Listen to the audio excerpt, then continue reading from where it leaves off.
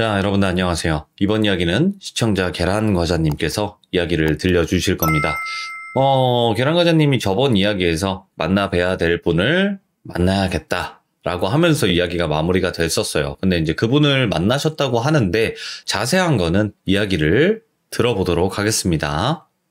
여보세요. 안녕하세요. 자, 계란과자님께서 오늘 또 찾아봐 주셨는데 저번 이야기를 못 들으신 분들도 분명히 계실 것 같아서 계란과자님 간단하게 저번 이야기를 요약해서 한 번만 이야기해 주시면 좋을 것 같긴 해요. 어, 간단하게 말씀을 드리면은 돌비님 유튜브 채널에 올라와 있는 제 이야기 중에 제가 어릴 적에 귀신한테 당할 뻔한 거를 구해주신 박수무당 할아버지 이야기가 있어요. 그렇죠. 그 이야기에 나오신 분을 제가 연락을 받았는데 이제 돌아가셨다는 연락을 받고 그분이 아들 되는 분이 만나보고 싶다고 하셔서 그래가지고 찾아가게 됐습니다. 아, 그 박수 할아버님의 자녀분, 그러니까 아드님이 연락을 주셔서 전달할 게 있다. 라고 하면서 만나 뵙고 나서 알려드리겠다라고 했죠. 예, 그리고 정확하게는 저도 가서 알았지만 그분이 그냥 아들이 아니고 신아들 분이세요. 아, 그러니까 친아들이 아니라 이제 신아들. 예, 신아들. 그 제자를 말씀하시는 거죠. 무당 그렇죠. 제자. 제자분이세요. 예, 알겠습니다. 제자분이세요. 그러면 그분을 만나고 또 어떤 일들이 있었을지 들어보도록 하겠습니다. Let's go! get it입니다. Let's 기릿!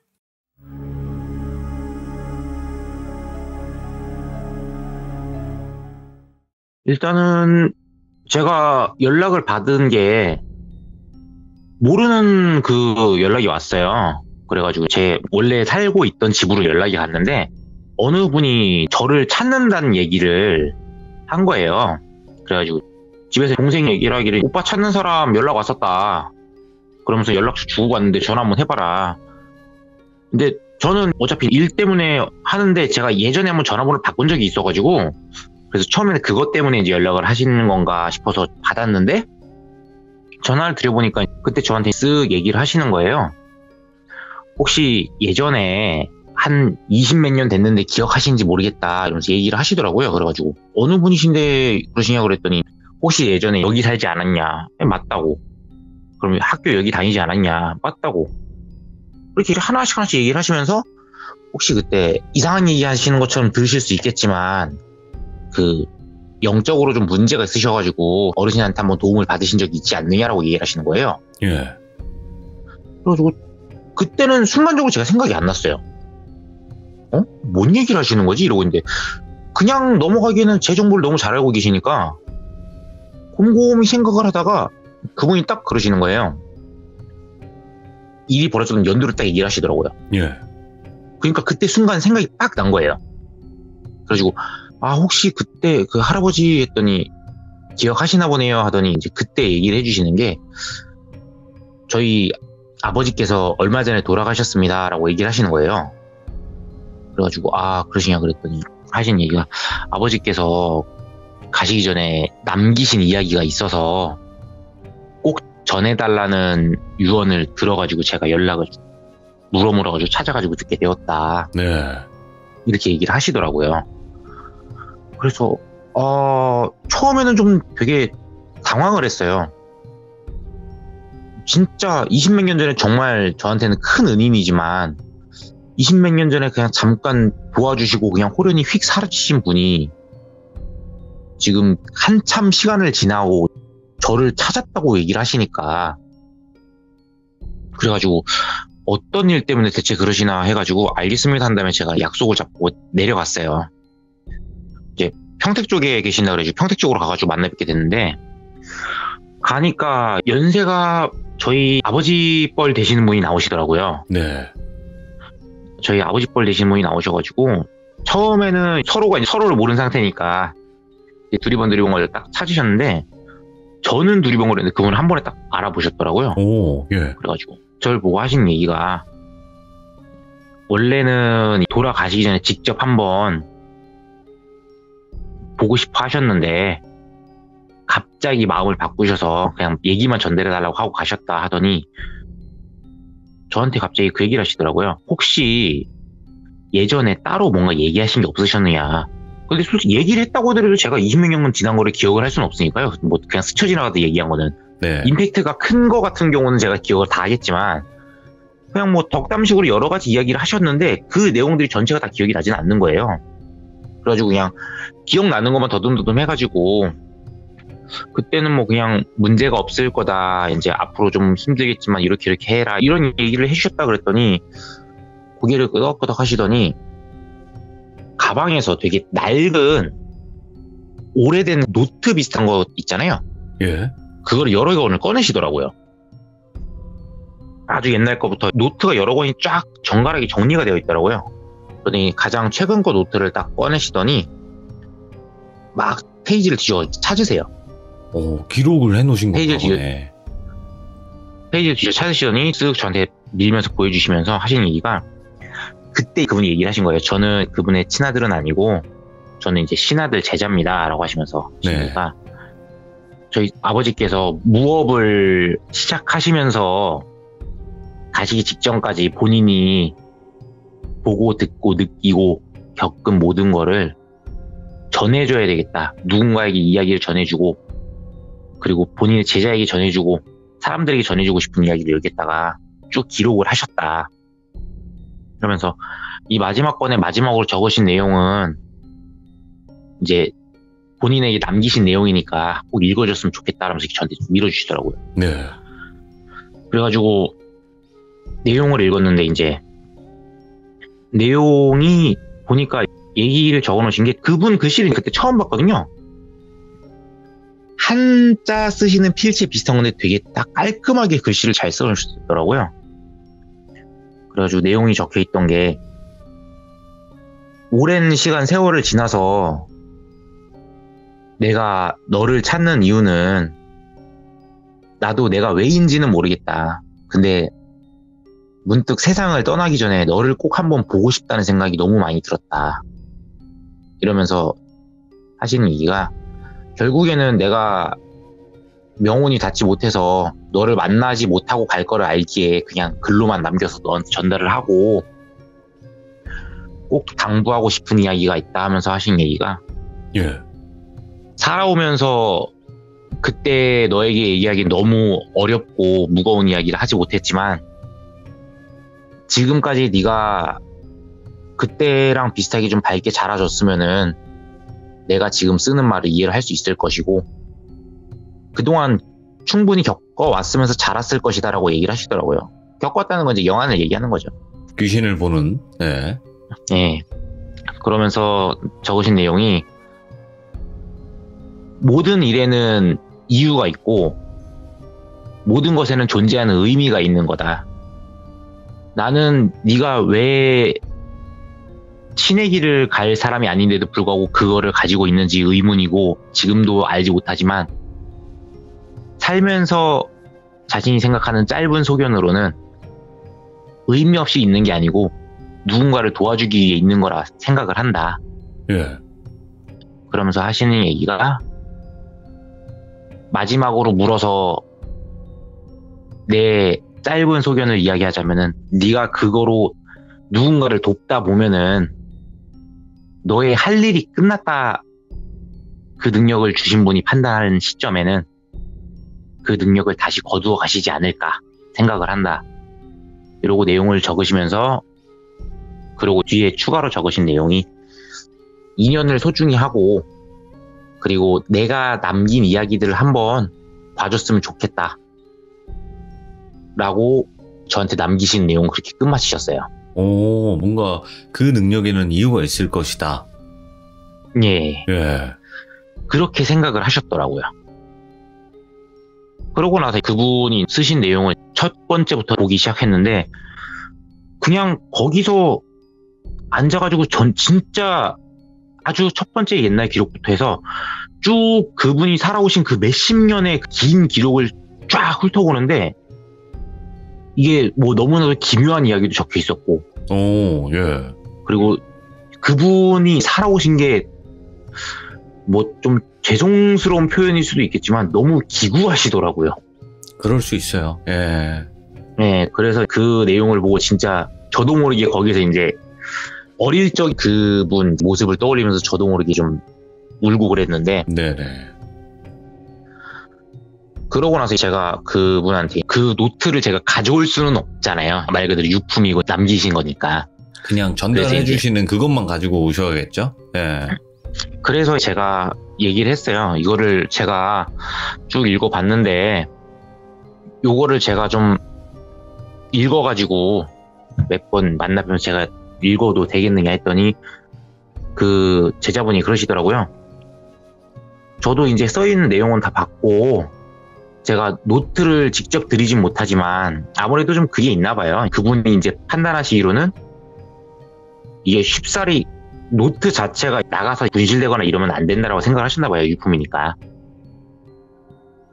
그러면서 하시는 얘기가 아마 뭔가를 하실 거라고 생각을 하고 내용을 보게 해주신 게 아닐까 싶다고 하면서 제가 이제 얘기를 한다고 했거든요. 제가 따로 제 이야기를 궁금해하는 분들하고 제 이야기를 공유를 많이 하고 있다. 그런데다가 제가 좀 얘기를 해도 되겠냐고 했더니 얼마든지 해도 괜찮다고 허락을 받았어요. 오, 예. 그러면서 그분이 하시는 얘기가 그 누구도 알아주지 않는 일을 묵묵히 몇십 년 하시면서 많은 사람들 도와주셨는데 그래도 제 입장에서는 저희 아버님이 어느 분한테든 되게 사랑을 받았으면 좋겠다라고 얘기를 하시더라고요. 네. 누군가를 도와줬던 이런 좋은 사람을 한 명이라도 더 기억했으면 좋겠다. 그래서 나는 얘기하는 게 좋겠다라고 얘기를 하시더라고요. 그래가지고 요번에 같은 경우는 처음 그분이 무업으로 들어가게 된 내용이 나오는 거고 거기서 이제 그분이 저를 왜 도와줬는지도 나와요. 오, 그 인연이라는 게, 그러니까 맨 마지막에 그분이 남기신 글이랑 제가 원래는 그분 글 남기신 거를 제가 쭉 먼저 얘기를 할까 했는데 앞에 그분이 시작하시게 된 계기를 얘기를 하고 하는 데서 이해가 잘 될 것 같아가지고 그렇게 해가지고 얘기를 할게요. 야, 꼭 만신 할아버지 이야기 같네. 할머니가 아니라. 예. 네. 그분이 정확하게 몇 년도부터인지 이런 거는 적어놓으시진 않았어요. 네네. 되게 오래 전부터 일을 하셨다는 것만 알 수가 있고 정확한 연배도 잘 모르시는데 그냥 그분이 얘기하시기로는 우연히 주민등록증을 슬쩍 보셨는데 이제 생일은 제대로 못 보셨고 태어나신 연도만 보셨는데 그분이 태어나신 연도가 25년도인가래요. 25년생이요? 예, 1925년생. 예.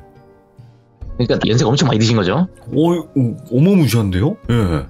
거기 적힌 내용이 원래 젊으셨을 적에는 이제 뭐 일을 하셨는데 상당히 원래 그분 자체 뭐 받으신 재산도 좀 있으셨던 것 같고 상당히 이제 돈이 좀 있으셨대요. 젊으셨을 적에. 그래가지고 그렇게 하시다가 어떻게 돈을 버시고 그 재산이 얼마나 되는지는 그분도 몰라요. 내용도 안 적혀 있어요. 근데 이제 부인분하고 아들 한 명 두고 잘 계셨는데 어느 날 갑자기 아들이 이상 증상이 보인 거예요. 아들이 이상 증상을 보여서 백방으로 약을 쓰고 얼마나 돈이 많이 들어갔겠어요. 그렇죠. 백방으로 약을 쓰고 했는데도 효험이 없는 거예요. 그러다가 이제 결국에는 나중에 무속인 분까지 불렀는데 무속인 분 한 분이 오셔서 하신 얘기가 아유 이거는 방법이 없다. 이건 병이 아니다. 이거는 뭔가 얘가 어디서 뭘 했는지 모르겠는데 뭘 잘못 건드린 것 같다. 이거는 내가 어떻게 할 수가 없다. 이러면서 가셨다는 거예요. 그러다가 이제 그 아들분 증상이 혼자 허공을 멍하니 보고 있다가 어느 날은 갑자기 열이 펄펄 나는 상태로 누워서 헛소리를 하다가 또 어느 날은 괜찮아지시더라고요.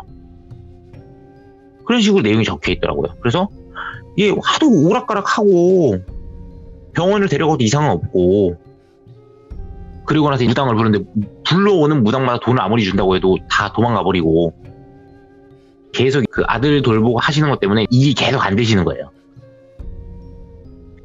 그러던 찰나에 그 아들 되는 분이 갑자기 아버지하고 부르더래요. 네. 그래서 이제 딱 갔더니 아버지 죄송해요 그러면서 제가 더 이상은 안 될 것 같아요. 그러고 나서 이틀 있다가 세상을 뜨셨대요.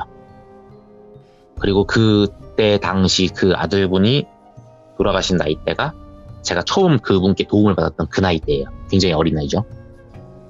그러고 나서 그 아들분 돌아가신 충격으로 부인분도 시름시름 앓다가 돌아가신 거예요. 충격 받으셔가지고. 그래가지고 혼자 되셨는데 그러고 나서 이분도 졸지 한순간에 가족을 다 잃으신 거잖아요. 그래가지고 이분도 그냥 막 여기저기 떠돌면서 일은 일대로 안 잡히고 매일 술로 보내셨대요. 네. 매일 술로 보내셨는데 그때 본인 귀에 누군가가 이제 니야 이제 니가 가야지 이제 니가 가야지 계속 니가 가야지 니가 가야지 그 얘기만 하더래요 그래가지고 처음에는 이제 자기가 술 취해서 그러신 줄 알았대요 근데 그게 아니라 그 귀에 속삭이는 사람이 하는 얘기는 아들 갖고 마누라 갖고 이제 네가 가야지. 계속 그러더래요. 예. 처음에는 신경을 안 썼는데 혼자서만 들리고 계속 그러니까 어느 순간 되니까 자기도 모르게 그냥 넋을 놔버렸대요. 그래. 나 혼자 살아서 뭐하냐. 이 생각으로 이제 그 산을 터덜터덜 올라가셔가지고 안 좋은 선택을 하시죠 산 터덜터덜 올라가시는데 그때 그 산 쪽으로 올라가다가 나이가 좀 있으신 할머니 한 분 만났대요. 근데 할머니 한 분 만나고 이제 쓱 지나치는데 할머니가 딱 내려가시다가 갑자기 지팡이를 짚고 가시다가 지팡이로 어깨를 툭툭 치시더래요. 아니 젊은 친구가 정신 똑바로 차리라고 뭐 하는 거냐고 갑자기 그러셨대요. 그래가지고 이제 그때는 정신도 없겠다. 어차피 가는 마당이니까 아, 할머니 신경 쓰지 마시라고. 어차피 저 볼 사람도 아닌데 뭘 신경 쓰냐고 그러고 휘적휘적 올라가셨대요. 그래가지고 막 올라가는데 뒤에서 할머니가 따라오시더래요. 예. 그래가지고 아, 되는 게 없구나 되는 게 없어 이러면서 올라가셨대요. 그러고 올라가는데 할머니가 끝까지 따라오시더니 갑자기 딱 잡더래요. 요 근처에 내 집 있는데 시간도 늦었는데 밥이나 먹자고. 아유 됐다고 무슨 밥이냐고. 내가 그냥 갈 거라고. 근데 할머니가 극구 데려가시더래요. 그래서 그때 그냥 순간적으로 든 생각이 그래.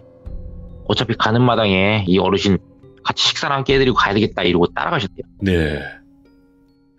따라가시는데 가는 길에 두통이 너무 심하더래요.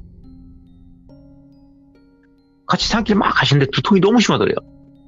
그래가지고 두통이 너무 심하니까 주저앉을 뻔한 적이 한두 번이 아니었대요. 근데 이상하게 할머니가 가야지 가야지 가야지 할 때마다 슥 일어나가지고 그냥 가게 되는 거래요. 그래가지고 갔는데 할머니가 밥을 딱 내오시더래요. 밥을 딱 내오시더니 일단 이거 먹고 몸 좀 녹이게 이러시더래요. 그래서 이제 식사를 하셨는데 식사를 하시면서도 머리가 너무 아프시더래요. 그래서 식사를 하시자마자 그대로 누워가지고 거의 뭐 기절하듯이 잠을 주무셨는데 꿈에 웬 형체를 알 수 없는 이상한 검은 사람 형태가 나와가지고 너 이 집에서 당장 안 나가? 당장 나가. 여기 있지만 당장 나가. 막 그러고 막 하더래요. 그래가지고 꿈에서 딱 계속 그러고 있으니까 놀래가지고 딱 깼대요. 예. 딱 깨가지고 식은땀을 흘리고 있는데 옆에서 할머니가 식은땀을 싹 닦아주시더래요. 그러더니 딱 보고 하시던 얘기가 그래 걔가 뭐라 하든가 딱 그러시더래요. 그 걔가 뭐라고 했냐고 물어보신 거예요. 그래가지고 아니 어르신 누구십니까? 라고 얘기를 했대요. 그러니까 그때는 꿈을 꾸고 나니까 자기가 언제 가가지고 스스로 그렇게 안 좋은 선택 하려고 했냐는 듯이 정신이 좀 맑아오더래요. 오, 예. 그래가지고 할머니가 그때 얘기를 하시더래요. 자네 운명이 기구해 기구해 이러시면서 지금 자네 차지하려고 호주가 들어 앉았어 이러시더래요. 그럼 사실 얘기가 원래 받아야 되는 걸 받지 않은 상태에서 딴 놈이 먼저 치고 들어와서 먹으려고 하고 있는데 그게 뜻대로 안 되니까 한번 골려주고 그 다음에 자기 원한 대로 굴리려고 하는 거라고 내가 발견했으니까 망정이지 안 그랬으면 폐인될 뻔했네 이러시더래요. 그 얘기를 듣고 나니까 갑자기 꿈속에서 들은 얘기랑 자기 아들이랑 그 부인분이랑 다 안 좋게 됐잖아요. 그게 생각이 나면서 갑자기 분노가 막 치솟더래요.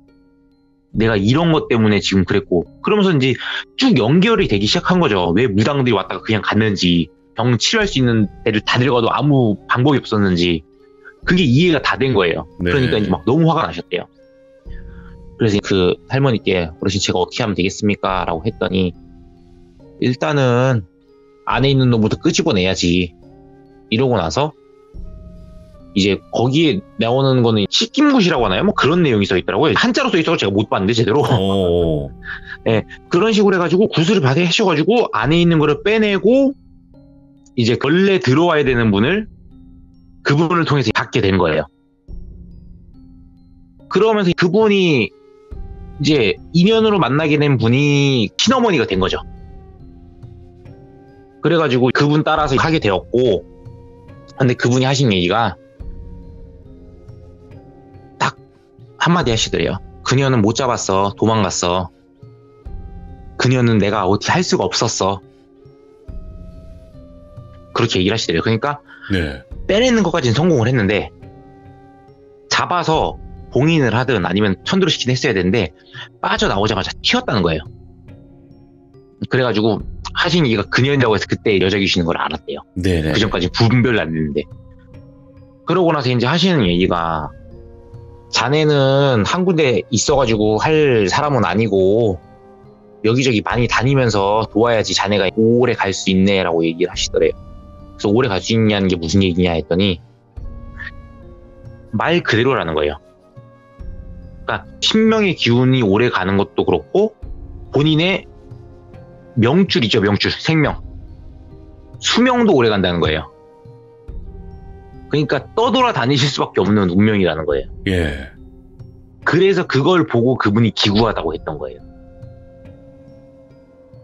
그래서 그분 밑에서 몇 년 동안 수련을 받고 그러고 나서 떠나신 거예요. 길을. 예. 그러면서 거기에 했던 내용 중에 하나가 저를 딱 처음 봤는데 그 아들분 있잖아요. 이상하게 그냥 길에서 만난 아이일 뿐인데 저를 계속 아들이 겹쳐 보이더래요. 오, 예. 본인이 젊으셨을 적에 그렇게 허망하게 보낸 그 아들이 계속 겹쳐 보이더래요. 예. 그러면서 저한테 그때 씌어있던 귀신은 그때 본인 귀에 속삭였던 개로 자꾸 인식이 되고 아, 그래서, 그래가지고 저를 그렇게 해서 구해주시려고 하시게 된 거고 예. 더군다나 이제 또 그분이 남기신 얘기 중에 그게 있더라고요. 그러니까 저를 그렇게 한 이유가 그런 내용도 적혀 있었지만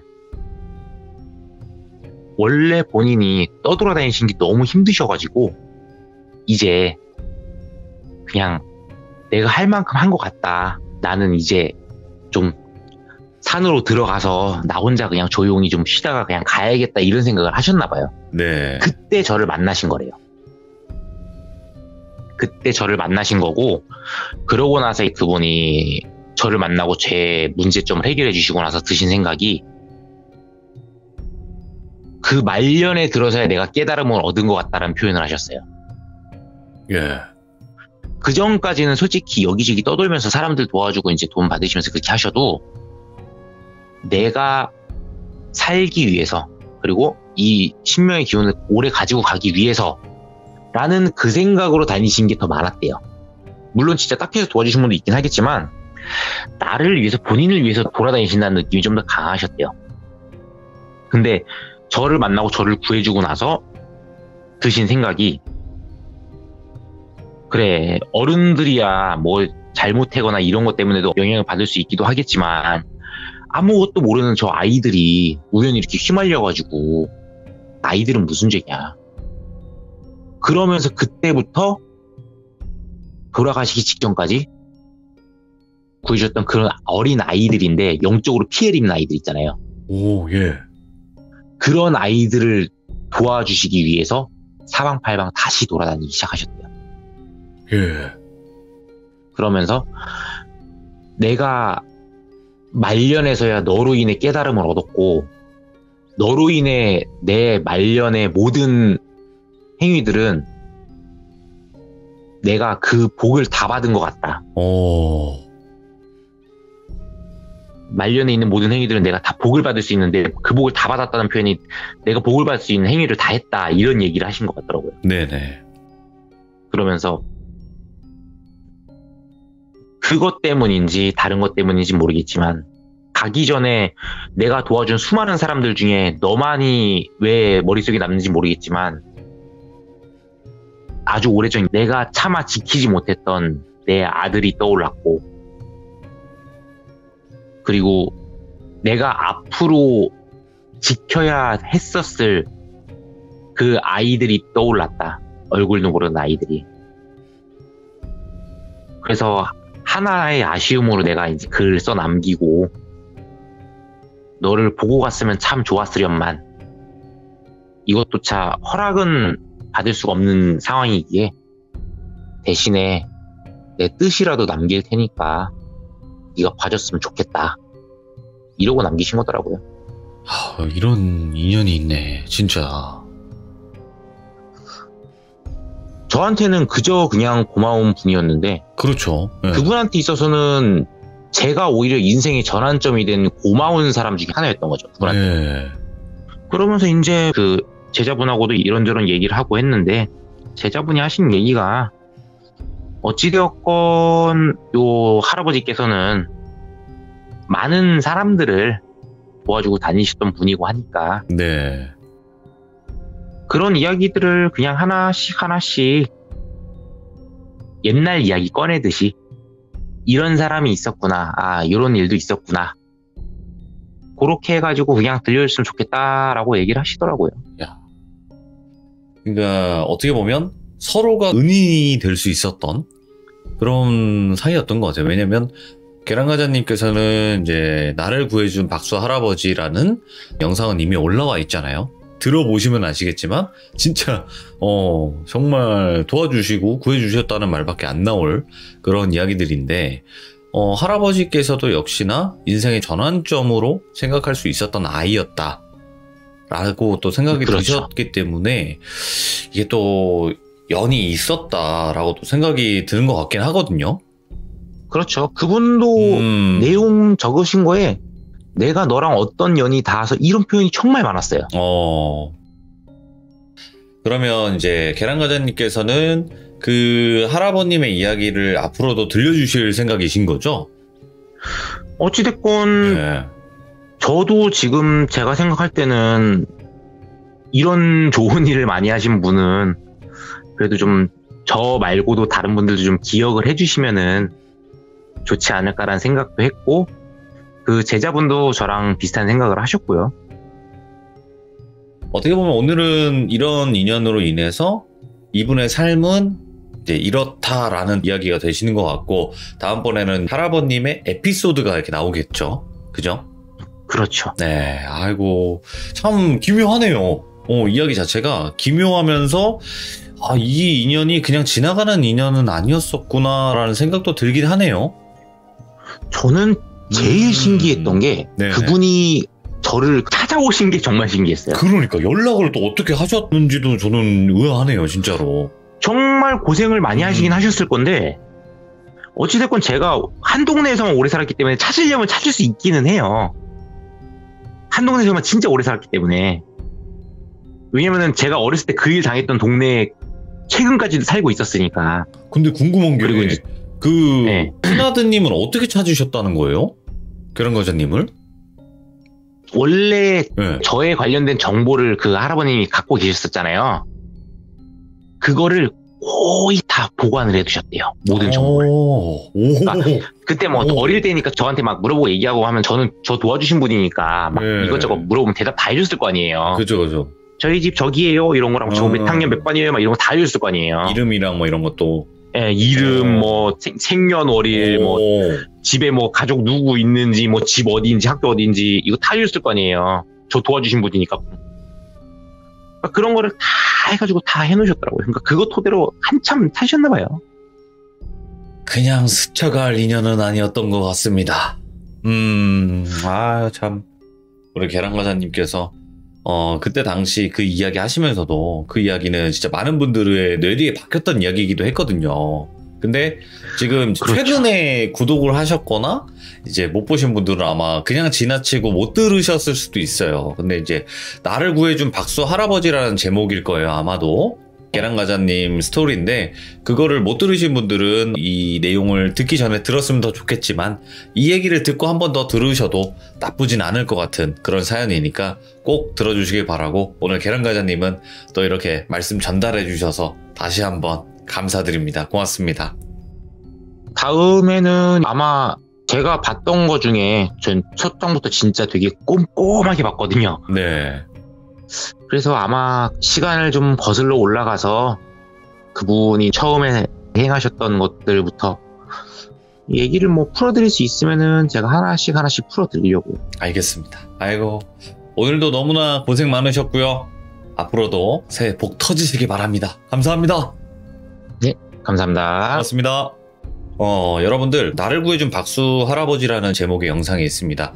그것도 이제 계란가자님 썰 중에 레전드 썰로 기억이 되고 있는 그런 썰인데, 그 이야기를 못 들으신 분들은 꼭 검색 한번 하셔서 꼭 들어주시길 바라고요 앞으로는 또 이제 어떻게 보면 만신 할머니가 아니라 만신 할아버지의 이야기가 되지 않을까 또 이런 생각을 해보게 되는 그런 기묘한 이야기였습니다. 시청해주신 분들 감사드립니다. 고맙습니다.